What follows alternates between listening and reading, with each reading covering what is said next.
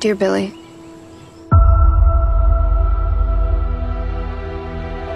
so much has happened since you left.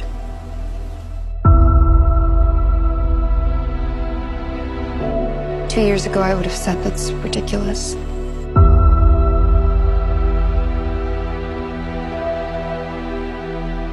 Impossible.